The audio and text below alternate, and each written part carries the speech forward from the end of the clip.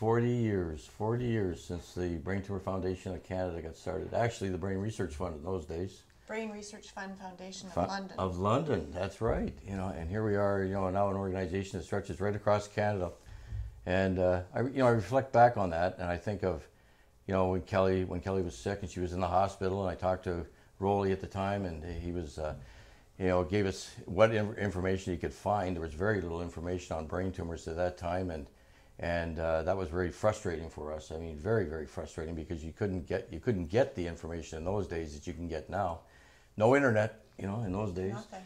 And uh, you know, thankfully, you know, it went on. We went on to uh, talk afterwards, and, and Rolly came up with the idea that he was starting a lab, and then we asked for donations, and you know, just one thing just kind of led to another, and here we are. Back at the kitchen table, apparently. Right. Yeah. You know, it's interesting to think back. You know, I think it's hard for people to think of what, you know, the 1970s was like related to brain tumor um, treatment, diagnosis. There was no MR scans at that time. CT scans had just been developed in the early 70s. And um, as a neurosurgeon and a neurosurgeon resident in particular, I went through that time period.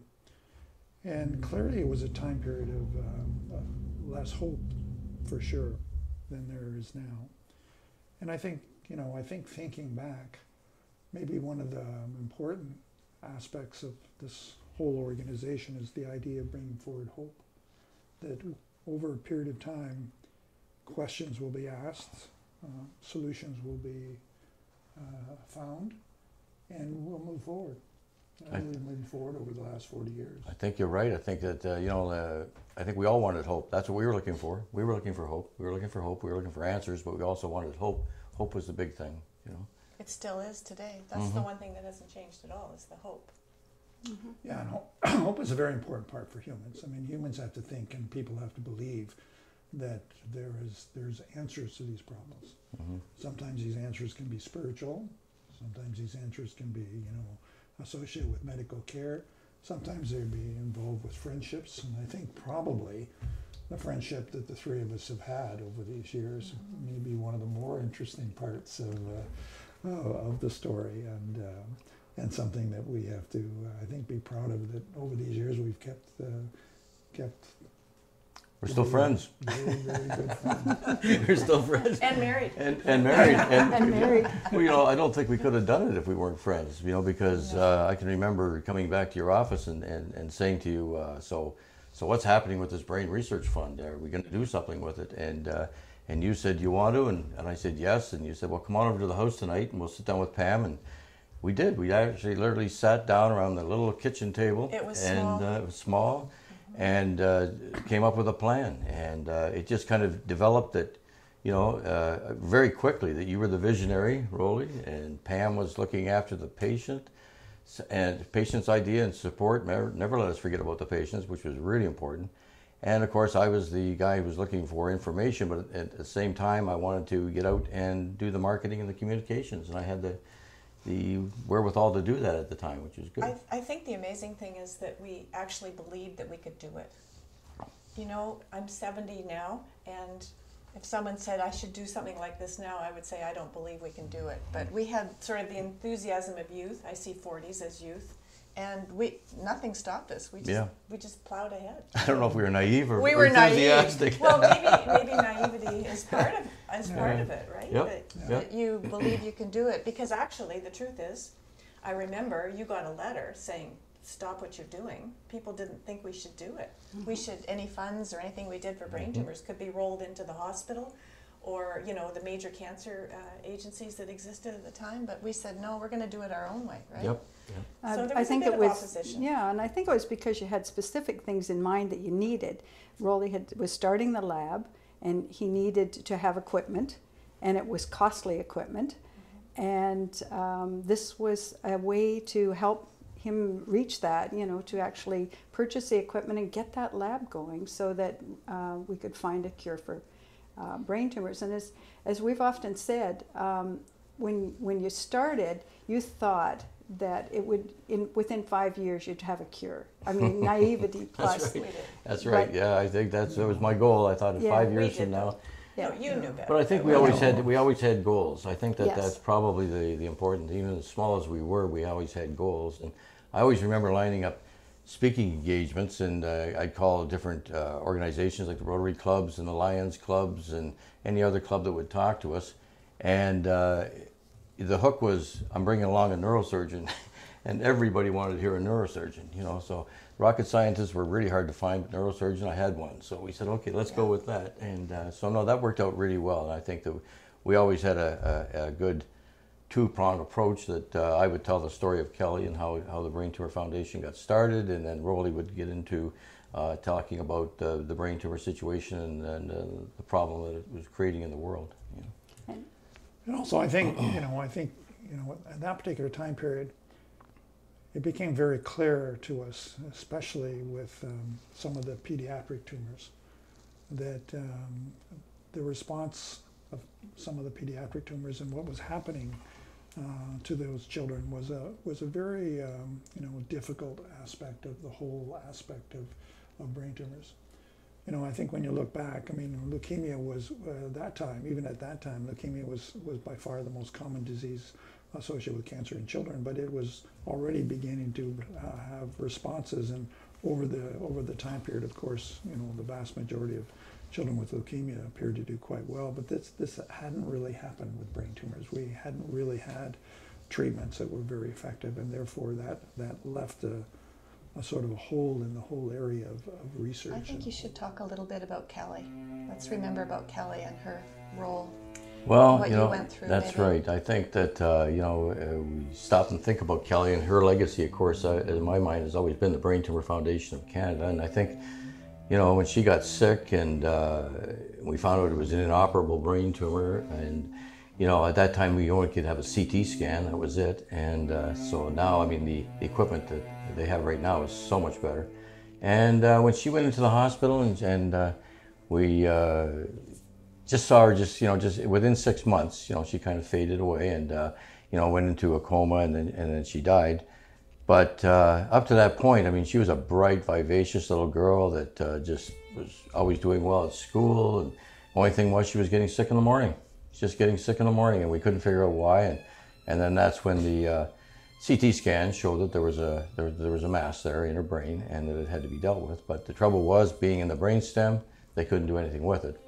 And uh, so it was very frustrating, I think, for us at the in the hospital at the time uh, because of the fact that we didn't have any information, we didn't know what was going on, and uh, so that's I, I guess one of the things I'm, I'm so proud of as an organization right now that we have all the information. We have a lot of information. We have we have information that we can give patients. We have for the caregivers, for the uh, patients, for themselves.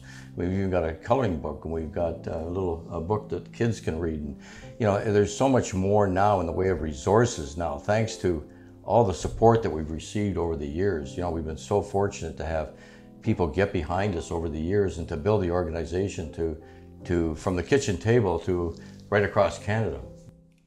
And I think, uh, Pam, maybe uh, your input as far as getting together volunteers and putting together the first handbook, which was the initial concern that Carolyn and, and Steve had, that they had no information and to go by. And you created that, that handbook um, around a board table, printing it, uh, collating it. Remember the first one we printed, Labatt's? Labatt's. Yeah, Labatt's. We had Uh, that little spiral and we put them all together one night. I think there was some beer in the fridge at Labatt's for Yes. us, if I Yeah, the Amber Lounge. there Amber was, Lounge, yeah. That was Yeah. a good And- point. and Gary was so, so, uh, you know, important at that time period. You know, being involved with uh, Labatt's at that time and also being involved in helping us so much with. Well, when I was writing the handbook, I would handwrite things and fax them to Gary. And Gary would input them. I mean, that's, Yeah. that's how, That's how right. bad it was at that Forty point. years later, somebody's saying a fax. What's a fax? know, I know. And the volunteers all around the table and everyone. Yeah, everyone I just. can remember having the collating party where we, we Yeah. walked around the tables, took page one, page two, page three, and That's had- right. And I mean, that brings up volunteers. You start talking about volunteers, and I mean, you know, uh, really, I mean, our organization has been so lucky to have fantastic volunteers over the years, you know, from families and families and friends and Mm-hmm. everybody involved. You know, I think of all the people I work with at the newspaper and I mean, all the people that you were connected with through the hospital. I mean, we couldn't have done it without them. I mean, One- it's just. One of our, yeah. one of our strongest volunteers for many, many years at the foundation, I met in the lineup at Tim Hortons. And someone said, never sit beside Pam at a meeting anywhere because you're gonna be volunteering for the Brain Tumor That's right. Foundation of Canada, which was our enthusiasm. That's right. You could be working a bingo or a Yeah, fashion show in no matter. time. I could hook them in. And all through the years, i i whether it be um, coming in and putting uh, those handbooks, putting using an old binding machine or cutting the edges to make them straight or whatever, um, people would come in to do that. And we had some fundraisers that were great. Um, we had um, from Westmount Mall, we had to roll pennies. There was thousands of wet pennies that Steve would pick up uh, in pails and bring them in, and we'd spread towels out on the board table On the board table. and, and a fan going on I it. forgot And then the, about ba- that. then the bank said they wouldn't take them And- because there was chlorine on them. Chlorine yeah, on chlorine them. on oh, them. geez, yeah. And then And- uh, up in Thessalon, a few years later, how much is a million? People uh, collected a million pennies in Thessalon Public School because the principal's daughter had a brain tumor, and that this was their way of helping. And Yeah. there, 200 empl- uh, volunteers came out. So Yeah. our whole existence has been on volunteers. Without them, we would have nothing, and it continues to be. And um, as we as we were helping people along the way, we were all feeling good about it, Mm-hmm. and I think that we could see progress. And uh, you know, I I think that helping others just became part of what we wanted to do. That's what the whole organization was all about. Really, it was all about. Thanks to Pam, because Pam always kept us focused on the Mm-hmm. right. patient and uh, and and their families. And and I think that when we saw them improve or uh, feel better and come out and volunteer and do something with us, then we knew that we were on the right track. And I, and I see that all the time now, even in information days. even Yes. today, You know, Yeah, I, I think the, ba- the major thing I, I felt related to the information, you know, the handbook was that you could you could have the information in the handbook, but as a physician, I was able to sort of write down for that particular patient in the in the back part of that handbook, the initial handbooks, you know, what the diagnosis was, information, and and and actually show them things, and so they could refer to that later on.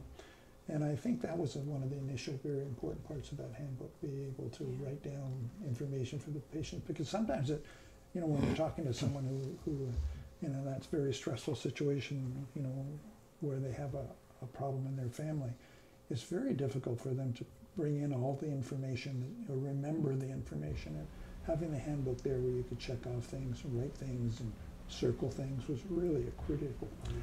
Well, the problem, the problem with uncertainty is the idea that you don't know where you're going. You know, you don't know what's going to happen next. You don't know what's going to happen to your loved one or yourself. And so, one of the advantages of having uh, information is it begins to decrease that uncertainty. And as you decrease that uncertainty, there's a sort of, there's an ability of the human mind to sort of begin to deal with that problem.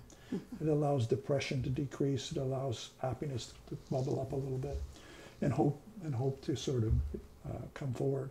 And I think if you don't have important information about a specific problems, you're sometimes left in the dark. You're you're left in this funny world where you don't understand what's happening, and that's a very dangerous part, place for people to be. You're talking about being a parent. I mean, you know, that's Yeah, uh, being that's a right. parent with a, a child with a brain tumor. That and in those days, I mean, you know, you were uh, you had to rely on the doctors to really tell you. And I know doctors are very busy and they didn't have time, and they don't have all the answers either sometimes. And uh, but you expected that, and yeah, I think the uncertainty was something that we had to.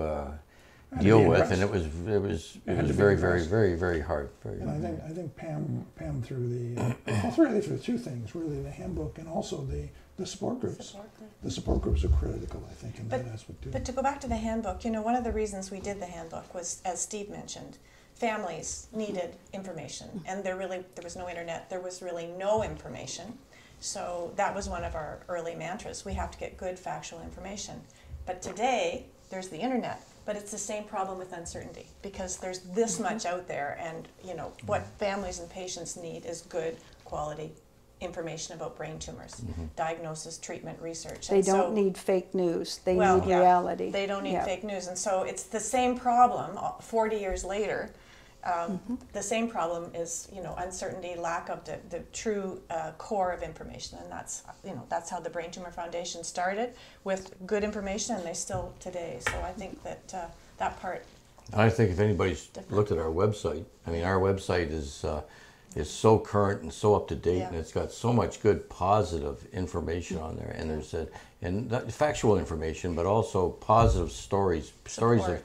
people support, you know, of how they've how they've improved their lives after a brain tumor. And I think that that's a, that's another area that we haven't really talked about, and that is how much the care for brain tumors has has progressed so far as compared to what it was 40 years ago. Mm-hmm. I mean, as far as from an operating point, the thing I've always liked, the thing I, I think is really great, and I, I've said this to many people, is the when when Kelly was sick, it was you dealt with the radiologist. He just said it was strictly radiology. And if you talk to the oncologist, he said no, it's just oncology. You talk to the surgeon, he said no, it's just surgery. Now they put a package together. And I think that's really, really uh, indicative of the young doctors that came along and they weren't set in the ways of doing things the same way all the time. And when I say a package, I'm talking about, you know, they come up with a program, A team. you know, a team. It's a team approach now that uh, it gives it gives parents so much more hope and so much more insight into what's going to happen in the future. You know, as far as uh, okay, we're going to do this, and then we're going to do this step, and then we're going to do that step, and then everything should be okay. And I think when we started the information days, that really came to the forefront because we would have a panel discussion, and each one of the um, uh, aspects were covered. So you did have oncologists, you did have a neurosurgeon, um, and social workers and therapists, and we had uh, uh, by bringing that in, it gave an opportunity. You know what I'm gonna say. I know say. what you're thinking. I know what you're thinking. Okay, Our Here first we let go, the us know- room. go, go for it. Yes, the Busby Our first room. information Yeah. day, Yeah. uh, we decided we would provide some babysitting, and we had Glenn Bennett, I think. Yep. He was a children's entertainer, and um, Rolly dressed as a clown. Yeah. That's right. That's he, he wanted to be the Cookie Monster, but That's the right. costume I rented wouldn't fit him, so I was the Cookie Monster. Oh, we have to get it back there, picture about that. Yeah. That's right. I, We just I've, I've seen to- that picture. We a few have a times. picture, yes, Yeah. that we can bring it. provide. Yeah. Yeah. so. You the Well, Busby you know, room. when I, you know, when you think about it though, let, if we think about 40 years, let's think about 40 years. So we start in a situation where, you know, the 70s, you, you begin to have a CT scanner, you move, you move forward with more information about MR scans and all the other technology we have now. As far as, you know, treatments are concerned, you know, what, what, what's been the most important thing that has happened? Like if you look in the operating room, for example, obviously we've improved. Mm-hmm. You know, we have all kinds of things in the operating room that we didn't have before. We're moving into artificial intelligence. We're moving into virtual reality. Better, better systems to work there. But probably the most important thing that's going to happen over the next period of time is continuing unraveling of the genetics of tumors. Why do certain individuals, children, for example, and, and young adults, get brain tumors? Mm-hmm. You know, and if you look, if you look at the real question, we don't know. Forty years later, we do not. 40 know. years still delivers the last and same question. We, we still ask the same question, and if that question can be answered, and hopefully will be answered as a genetic, the genetics get unraveled about the complexities of brain tumors, we are getting closer. There's no question we're getting closer. We know now, for example, that each, you know, if you have a particular tumor in one part of the brain, another part of the brain, that, you know, they're different. There's this difference that occurs. Mm-hmm. We are getting there. And I, and I think back, and I'm trying to, you know, when we think about the Brain Tumor Foundation, of kind of what, what was one of the more important things that we developed at that time? And I think that was the, the brain tumor tissue bank. Tissue bank, yeah, that was very, very important. And the reason that was important is that we began to think not for that moment in time, but for the future. hmm Because obviously all the technology, all the chemistry, et cetera, was not available at that time. But there was the idea that eventually things would come about. And when those things came about, then the tissue that we had saved from patients who have had the tumor, many of those patients had, had passed away, but we still had their tissue. And they then, with that tissue, made a substantial contribution They contributed. to the Mhm. people who came after. Yes, for sure. And that's why, that's why I think, you know, it's the same thing with all the patients, for example, that went into trials. I mean, we, we think about, you know, that this, this is some type of magic, but it isn't. It's people who go into trials, and many of those trials didn't work out very well for some patients, for sure, but they still went into them. And I think that's another aspect of it. These, I- And I think it wasn't people. only Canada. I mean, those, those tissue samples were sent Oh, all Our over. scent. Are still. sent Oh. and still Yeah. all over the world. I think that uh, the tissue bank, when I, I think back on it, I remember you talking to us about, you know, we have to, we want to buy this tissue bank, and I think it was ten thousand dollars. That's the number that keeps on coming into my head, was ten thousand dollars at the time to That buy was for this refrigerator. refrigerated, this I refrigerated when unit. they say refrigerator. And, Yeah. and I remember we had to go make a presentation uh, at the Knights of Columbus Hall uh, over at St. Justin's, and uh, we were up against uh, Father Pat Mellon. and He wanted money for his uh, his camp, and here we are going head to head against the priest who's running the uh, the, the church at the time. But uh, thankfully, uh, you know, I remember uh, Levine, I remember Pat Levine, and, and, and those people. They they kind of saw uh, our you know, our project as being much more uh, viable and something that they could really contribute to. And they really got into that. They, when I remember they, they bought the, the first tissue bank was great. And then we, we got the hospital to, to, to, to Give us a look room. after it. And then all of a sudden they were going to cancel that and we had to take it on as part of our right. budget. Yeah. And I think it's one of the one, most wonderful things we've ever done because uh, Well, it did help crack the oligodendroglioma problem. Yeah, I think, I think, you know, what people may not know, and I think it's not out there very much, is that that particular brain tumor tissue bank, because of all the tissue that was in it, well, allowed a number of researchers, both in London and in Boston, to really crack the problem of at least the initial genetic problem associated with with oligodendrogliomas, which is one of the more common types of tumors in young people. And so, although again it was a, a small amount, if you can think about it, the idea of putting the tissue away for other for other researchers to use that tissue years Mm-hmm. in advance, in, in one way, I think shows some of the things that the Brain Tumor Foundation has been doing for all, all the time. And doing very well. it's very true. It's Very very true. Thinking not of now, but what are people going to need in a year? And, and, and I think, Well, that- I think, I think the idea of of the, the issue of the uh, support groups was that, you know, you don't start a support group for one mm. time, Yeah. for that patient for once. No.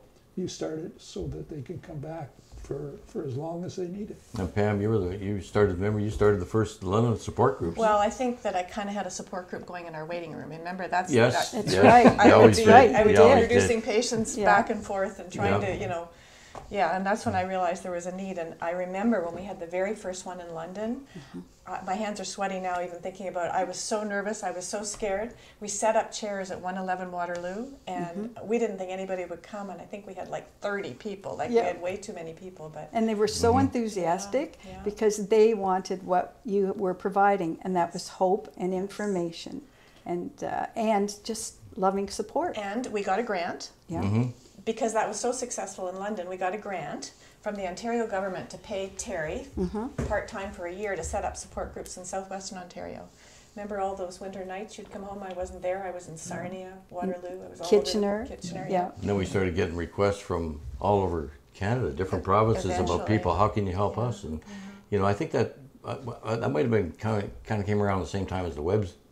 You know, the the web started coming into play, and I think that people started hearing about us and asking, Yeah. "How can you help me?" and asking for information. And then you would talk to them and say, "How about setting up a support group?" And at that time, Melody was our ED, and and, and she would talk to them as well and say, "Well, have you thought about setting up a support group?" And we'd send all the materials out to them, and they and they'd set up their own little support groups in Halifax or someplace like that. I, I used to go to a number of the support groups. Yeah, but he I changed them all. Like he, the, the neurosurgeon I came to support groups. Like that, that, that, I That's was a- just going to say that. You know, That was a question. useful- That's not- a question time have then. a It wasn't nurse a support support That's right. He wrecked It's- them all. It's not. Yeah. It's not. They- It's not an important. que- They- That's That's an right. important thing. to They have. loved when he came. Yes. Don't get me wrong. Yeah. They loved it. In fact, one one year for my birthday, um, he decided to surprise me because my birthday was support group night, and he shows up. Big surprise. I was supposed to be thrilled, but then he ran the whole support group. I know, done it, you yeah. I think I made the coffee or Yeah. something. so- Yeah. Well, like I say, when we went out to speak, if I said I was bringing a neurosurgeon, know, it was just like, oh, okay. That's But you know, good. the support groups to this day, I mean, they just ran themselves. Yeah. I mm-hmm, mean, you just mm-hmm. needed to get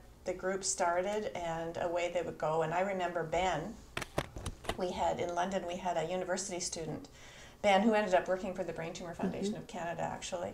And so he was 18, and you know, the brain tumor uh, uh, group that I had at the time, we were probably 50 and over, most, most people. And um, what Ben didn't know is he was coming into a den of mother hens. Yeah. And, uh, you know, are you getting to bed and are you sleeping enough? And he had started university. Oh my God, they were all over him about that and his exams. And um, I think he was a little um, nervous about it first, but at the end, he always came back. He loved that support group. He loved And that group he's of still people that involved just loved him. today. He Yeah. still They- is a They loved him. Support supporter of it. support is important in so many different ways. Mm-hmm. But one of the most intangible kinds of support you can have is one brain tumor patient talking to another brain tumor patient True. Yep. and explaining how they feel, and then hearing the group, sorry, watching the group, hearing the interactions.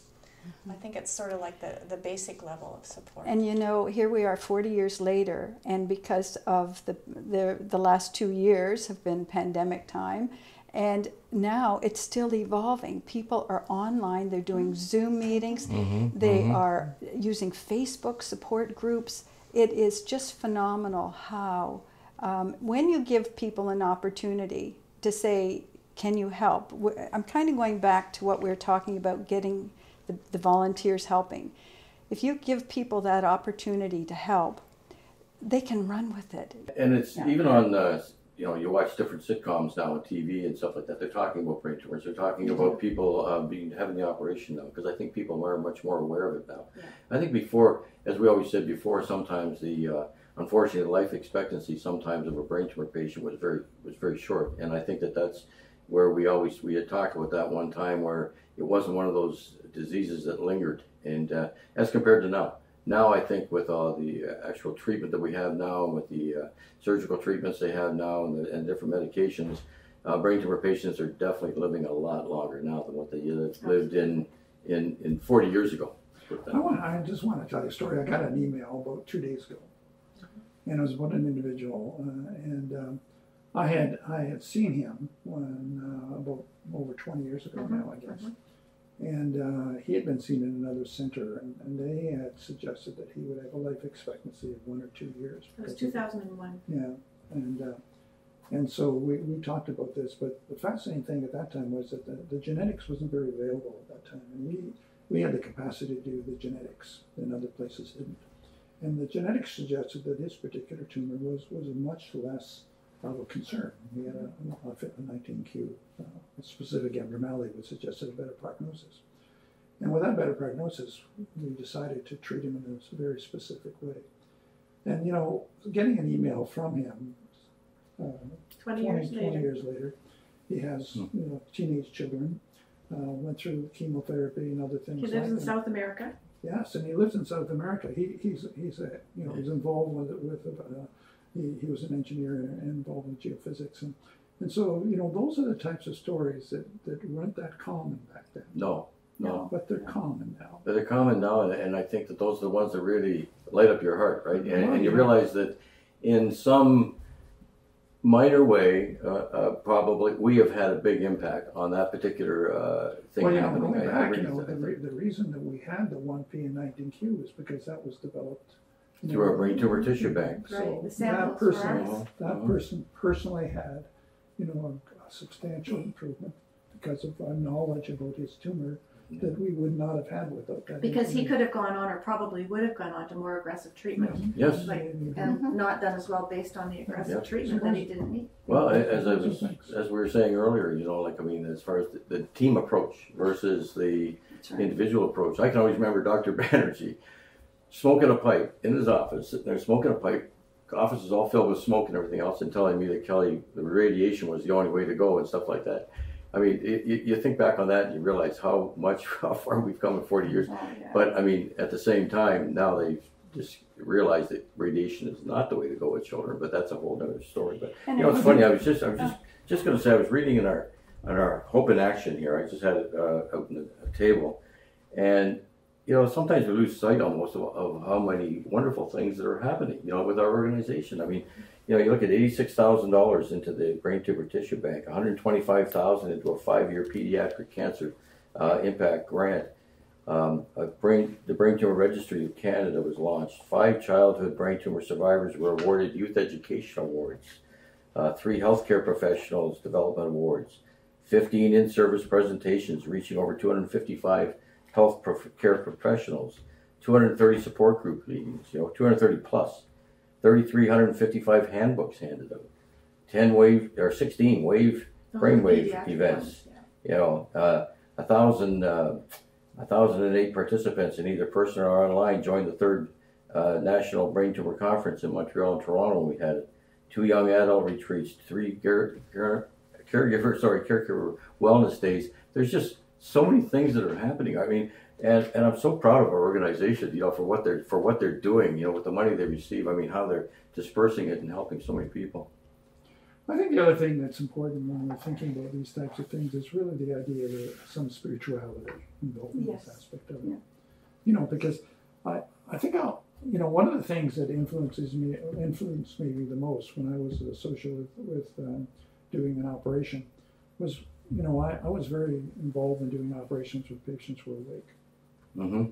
And uh, every once in a while during an awake operation, although we're able to, you know, to um, the brain doesn't the brain doesn't have any um, any uh, pain fibers, so that's not really an issue. But people do get do get stressed, and, and sometimes you have to actually stop the operation. And I and I was this was happening in this particular lady's case, and, and it was she was getting more and more stressed. The anesthesiologist was more and more concerned that she was getting stressed, and maybe we'd have to stop the operation. And I knew that she was religious. And so I said to her, you know, you're religious. And she said, yes. I said, uh, then she'd pray. Mm-hmm. And she started to pray. In the OR, In the OR. Can I'm- operate on. being Yep. operated on awake.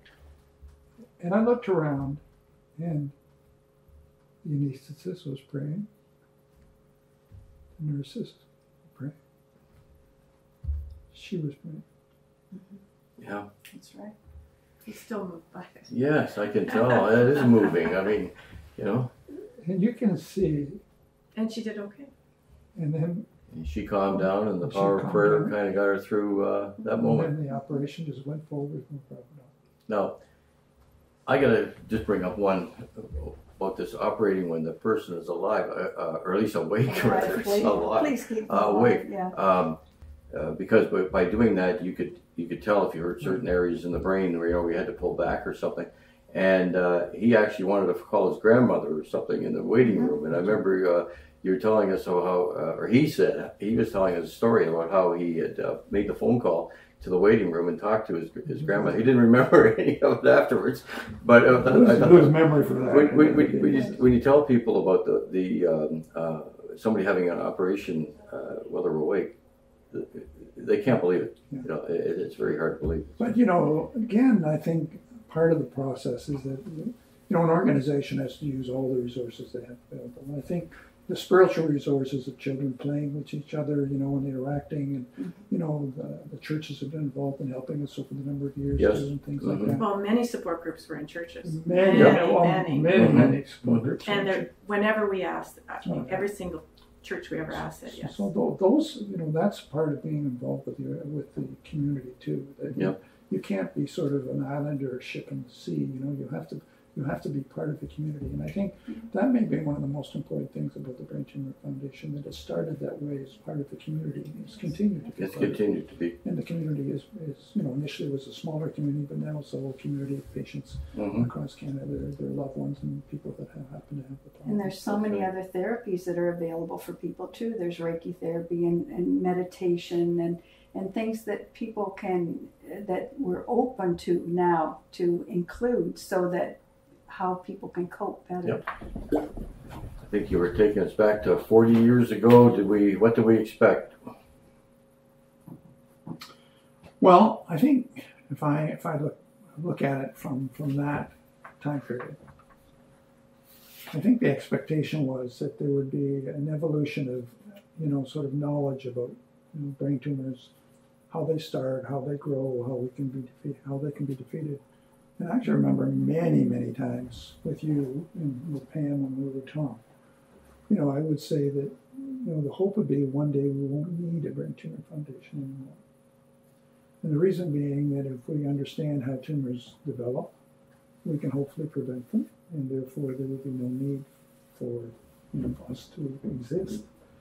Uh, so that, I guess, would be the long-term hope that the, the um, you know, biology will is moving so quickly now that, that I think there is hope that in the next 10 or 20 years we'll be able to, you know, identify which, which people are more likely to have tumors and which people are going to be uh, able to be cured by just not letting them have those particular types of problems.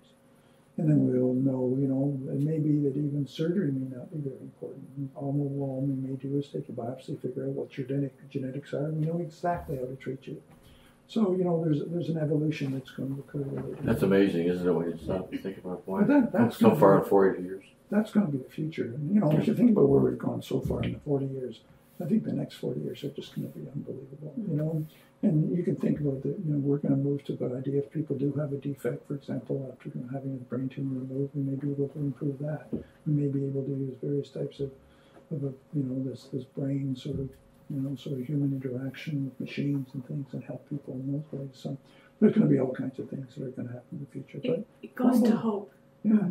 But Mhm, probably the most important thing is that the idea of, of people helping other people. People helping people. And I, and I think that's the the foundation wouldn't function unless we had unless we have money to make research happen Money. and to keep uh, the support services going and to keep the um, the volunteers out there doing other fundraising. Um, but the um, I think the if we look back over the years, it's been such a variety of people helping us and doing all these fundraisers, and we've had some pretty wild times. Well, we've had some pretty interesting fundraisers over the years. Remember That's the so ten true. dollar ones? Yes, you well, there- might there want was- the We, we could share this with the with the people. I think this is kind of funny, but we uh, we used to go out and talk. Rolly and I were a, a dog and pony team, or you know, Mutt and Jeff, and we would go out there and we would talk to organizations. And one time, a sorority group asked us to come to talk to them at their house, and a beautiful home, just a gorgeous home. We pulled up in front of it and thought, oh boy, this this should be good. So we walked in there, and I think there was about six or seven women, and we. We talked to them and we, we, we spent we were in there for at least two Couple hours. couple hours anyway, and uh, and then we came out and uh, they gave us an envelope at the end of our talk. We thanked them very much and we left and we got back in the car and Willie said, "So what's in the envelope?" And I opened it up and there was ten dollars, and that was it was kind of a shock. But you know, when you stop and thought about it afterwards, we thought that's okay. That's ten dollars. That's what they could afford to give us, and that's. But we still got the story out. We told them about brain tumors. They were more knowledgeable than when we left than what they were when we first got there. And uh, but you know, even to this day, uh, everybody who's donating to us, you have to realize we treasure your donation. Whether it's ten dollars, twenty dollars, fifty dollars, hundred dollars, whatever you can afford to help us continue to find a cure for this devastating disease. That's that's how the organization was built, and that's how we will continue to grow, and we'll continue to help people, provide information, and uh, it's hope in action. Just like our our newsletter says, it's hope in action. And I would say too, if you're going to make a donation to the foundation, large or small, to always think that the organization exists for someone that you don't know to pick up the phone and say, "My child, my husband, my loved one has a brain tumor. What will I do? Where will I go? What, who will I call?" And if you give a donation, it supports those activities for the foundation. I think the most important thing to think about is giving even a small donation helps. You know, money is one thing, but but hope is another. And money sometimes helps hope move down its its path. And uh, I think overall, we all have to, you know, we all have to care about our community, and, and one way of caring about our community is helping by providing money and, and being a volunteer. I mean, I think we have to go back to that idea that how important it is to be a volunteer. Well, volunteer is money, really. Yep. And, and it, it's and the other thing about being a volunteer is you're helping. You're really, really helping. and you're meeting wonderful people along Yeah. the way too. Well, I people think who people care. are, people are probably be interested to know that uh, we were volunteers. Yeah, absolutely. We've never we've never really uh, No. uh, worked for the organization for the Brain Tumor Foundation. We've been uh, we've been volunteers right from day one, For and 40 uh, years. and we still are. We're still Yeah. we're still reaching out to people whenever we we hear of anybody who needs uh, needs help. I mean, we're there to help them. We're there to provide the information, Yeah. whatever they need. and the board of directors and the advisors and um, they, they're all volunteers. They all come from right across Canada to Mhm. uh, lend a hand. All the, the people fundraising. I mean, they're they're in there to have uh, to to take any step they can to help because they might not have the money. They might not have, but they might have an ability to do something. Um, we used to do rides for research, bike rides, um, uh, fashion shows.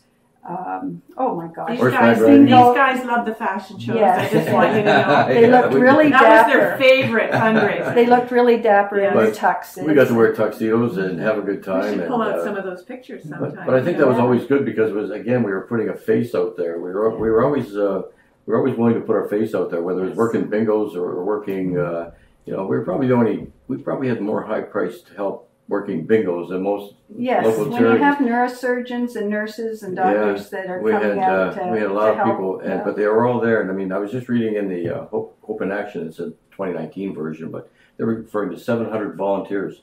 You know, uh, taking place in that particular year, and that's just in one year. And and I think a lot of that is probably the walk too. I mean, you know, the walk that we have across Oh. Canada now that that um, that came about, you know, through uh, through a meeting with the running room here in London, Ontario, and it just kind of expanded. And as I touched on earlier, I think it gave the support groups a way of, you know, contributing back and what have you. And now I think we have 26, 27 walks right across Canada. And, you know, that's the backbone of our organization as far as uh, fundraising goes right now. It's about $1.5 million bring from But also the know? support, because on the walks, people meet people. that people That's meet right. people in the walks. And So from my point of view, you know me. Exactly, patient support exactly. We ta- I tell you, I love the I love the walk. I go, Yeah. when I go down to London, then I have to get up and I in Victoria Park and I talk to the groups out there, and you know you got a thousand people out there, and I've had all my grandkids up at different times talking to as well, and uh, they, you know, they they see what we're doing, and they, they're so proud of us as as an organization as people because they see us uh, giving back, and I think that that's something you, you don't even realize that we're passing along all these beliefs and all these uh, ideals to our children. Our children are the same way. You know, they they they take a look and say, well, look at Nana and Papa. They you know they give back. We should give back too. And I think, and but th- those walks. I mean, I I love them. I, I just love talking And- to hundreds of people out there and seeing their uh, you know they all have their different teams and they. Uh,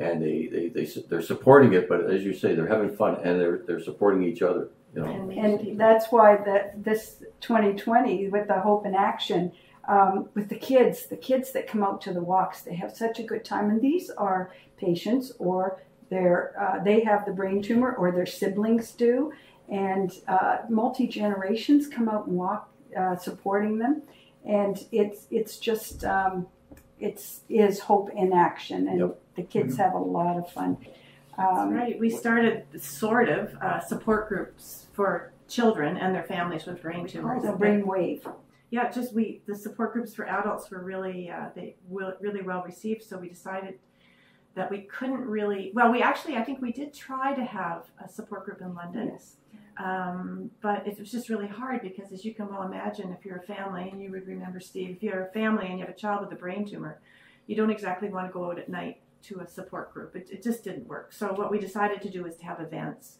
I think we had an event at a farm, we had an event at Colasanti's, all kinds of different sort of fun activities that were free. And families came together and met each other. So, they provided their own support. We didn't have an exact program. And now it's evolved to much more sophisticated, and it's a formal program in the Brain Tumor Foundation of Canada. So I'm proud of that but too. it's wonderful I think the kids really enjoy it, you know, because they can Yeah. they can they can see other kids that are going through a Yeah. brain tumor and they understand and they can they're talking the same language and I think that uh, that's so important. It's so important for the kids and uh, The same Yeah. way. And it, and it gets back to the same idea, you know, person helping another person. exactly. And the more, the more, you know, the more that they see those types of things, I think the more they, they can sort of understand how, you know, there are issues that have to be dealt with and they can help to, to in their own way to do, Mhm. whether it's collecting pennies or walking or whatever, Yep. you know, they can do something that's helpful. And we provided a venue for them to have fun. That's Yeah. right. Remember the magician and all the giggles in, Yeah. the, in the audience Well, and hear the Just when you were talking about sh- uh, Rolly showing up in a clown outfit and you were dressed up like, uh, what were you? Cookie Monster. Cookie Cookie Monster. I mean, you know, that was just fun. I mean, you know, to, uh, to, to see that kind of stuff. But No, we just went down to see our son in Tennessee for the first time since COVID started a couple of weeks ago. And the one thing he wanted to bring is we have a really large, like meter squared um, photo of us, Rolly the Clown, me the Cookie Monster, and our children in a big bright yellow frame. And he said, could we bring that? He wanted to make sure that in our family that he got that picture. So Oh, isn't that great? now in Isn't that Tennessee. great? That's wonderful. Well, you know, we're working on four generations because we have Steve and myself, we have, and Carolyn, um, his first wife, and all of our blended family. But we also have grandkids and great grandkids. And they are all, I mean, that's their foundation. They just love to be part of it. Especially the walk. They love the walk. But I, I think the other thing that I notice is um, when we're giving, when we're doing things like this for, for families, the parents get an opportunity to see their children that are afflicted by a brain tumor get out there and have fun and actually have a normal, like, be able to run around and do all the normal things because that's the hardest things for parents to get used to is that their child changes so much. An adult changes. Um, wives say that about their husbands, and husbands about their wives, and it's it. Uh, having a brain tumor is a huge impact on your life and your your normal process of life. And as Rolly had said, these things give people hope. Um, I think yeah, I'd like to talk a little bit about advocacy because you've Yes, been, you've been on the forefront of the advocacy. Well, you know, advocacy is a funny word, and, and when I started in this uh, unpaid job of mine, I don't think I really understood what advocacy and health policy really meant. And of course, over the years, I certainly have begun to understand it. And after um, the foundation had started, um, Melody and I actually went down to, I think it was San Francisco, and met with um, five other brain tumor groups. And the reason, um, it's a long story, but one of the groups had a newsletter uh, in the mail that I had found, and I, I phoned them and I said, um, Could I talk to you a little bit about um, networking and learning about what you do in the United States about brain tumors? And the, the man I talked to was, uh, was Michael McKechnie, and he was really evasive on the phone. And what happened was, when he, he hung up, called me back, and he said, Listen, I didn't know whether I could do this or not, so I spoke to my people. And what had happened was there were five brain tumor groups in the United States at the time, and they were going to get together and talk about trying to influence government to supporting brain tumor uh, research and support for families. And they said, There's this Canadian person who called me, and can I invite them? so they said yes. Uh, so they invited, Melody came down with me and they invited us. And so the rest was history. There was a group called the North American Brain Tumor Coalition, made up, up of all American groups and one Canadian group. And uh, they pulled some resources, hired a lawyer in Washington, D.C. And, you know, for me, that's when the idea that you could actually influence health policy. And happened. Pam, you were down there in Washington, D.C., talking and advocating for uh, brain tumor patients, but also the Brain Tumor Foundation of Canada. Right. They just showing that we had to get together with the world, actually. Um, not only did we send the brain tumor tissues everywhere, but we also had connections, and people were calling us from all over the world. So Well, you had the an thing is- opportunity. Yeah, Pam, you have to tell us about when we went down to Washington and we went to the embassy, the Canadian embassy in in Washington, because that, that was a very important aspect of Well, first of all, I mean, my big mantra always was, and I know for all of us, is that brain tumors don't discriminate. They cross borders. You know, there's no one stopping them either side, so they're everywhere. And um, uh, I, anyway, one year, for two years actually, I was chair of the North American Brain Tumor Coalition in Washington, and our health policy lawyer said to me, why don't you have, we always had a reception, why don't you have it at the Canadian Embassy? So I had, I said, okay, I'll try. So I had to call the Canadian ambassador. Well, in fact, what happened was the Canadian ambassador called me, and I, I was at home in Montreal at the time, and it was just a cold call at like five or six in the evening. Said something like, I understand you want to have a reception at the Canadian Embassy in Washington. Tell me why. So I had no chance to prepare, no chance to think about it. I just blurted out probably a lot of the things that I'm saying here today about, you know, how much we care, support, research, funding, all the things Yeah. that are important. And um, they said yes. Amazing. And I They can't, did. there, there's another backstory to that. And what's that uh, one? Was there something about the fact that we sort of knew some individuals who were important and some that helped us also? Well, well, that was the, that precipitated the call. Yes. Open some Um, doors. Yes, open some doors. Yes, we had some M- MPs Yeah.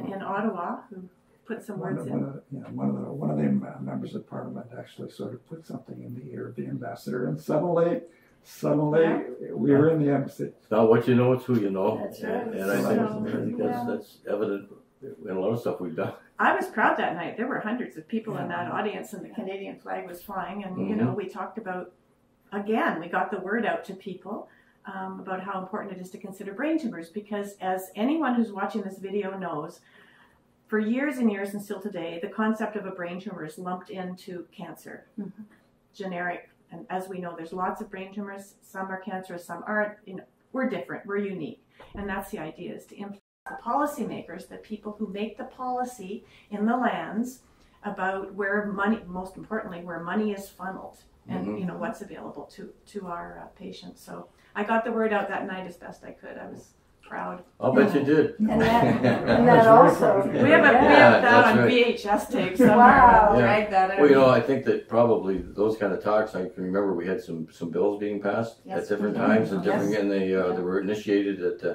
our federal level and at a provincial level.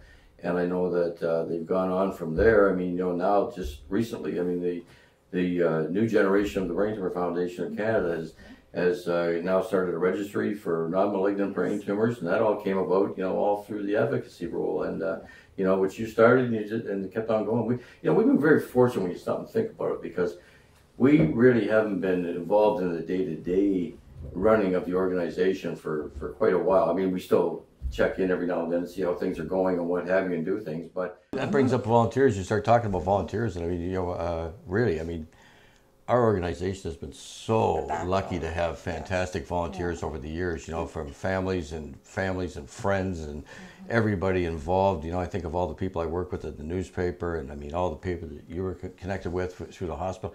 I mean, we couldn't have done it without them. But here we are 40 years later and there's so many wonderful things still happening thanks to all the people that support us on a regular basis. The volunteers, the people that donate, the programs. And all the health, the health professionals that, that have really worked very hard to mm-hmm. make the world a little bit better and the researchers and all the other individuals who have made the breakthroughs that have made it a little bit better for many, many of the types of patients that we have. But we've got to keep it going.